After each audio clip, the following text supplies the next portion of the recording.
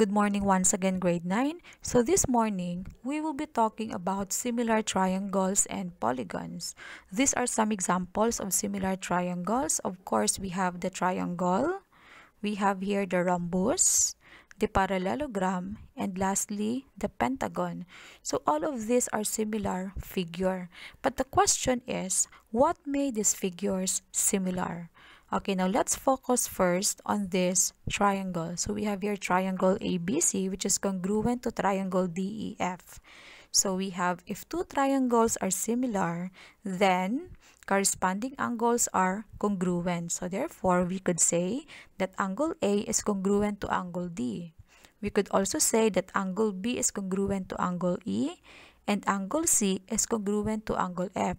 So aside from corresponding angles are congruent, we could also say that corresponding sides are proportional.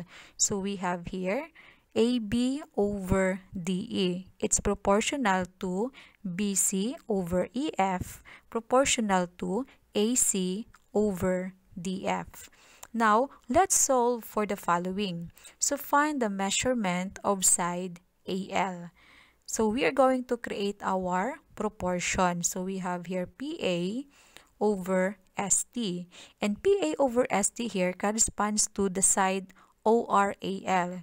So PA corresponds to OR and ST corresponds to AL. Next, we are going to substitute the values that we could find in our given. So PA is equal to 6, ST is equal to 12, OR is equal to 4 we substitute only. AL, since we do not know the value of AL, we simply copy AL. Now we cross multiply. So we have here 6AL and 12 times 4, we have 48. We divide everything by 6. So AL here is equal to 8. So the value of side AL is equal to 8. Okay, now let's proceed on the second example. In the figure, triangle DOG is similar to triangle CAT. So we are going to find the value of x. So again, we are going to create our proportional equation. So we have here DO over DG. So DO there corresponds to side CA. And DG corresponds to side CT. So DO is equal to 16 over x and CA is equal to 8 over 10. Now we cross multiply. 16 times 10, that is 160. x times 8, that is 8x. Divide everything by 8. So 160 over 8, that would give us equal to 20. So therefore, side DG there is equal to 20. Okay, now let's proceed on the third example. So in the figure, a triangle MAD corresponds to triangle FOX. So find the value of x or side AD. Again, we are going to create our proportional equation.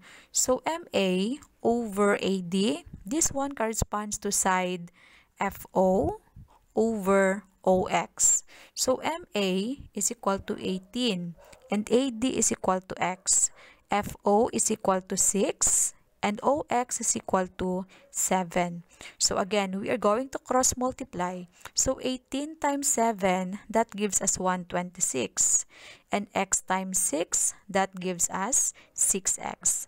Divide everything by 6. 126 over 6, that gives us equal to 21. So meaning to say side AD is 21. So that's all for today. Thank you so much. Grade 9.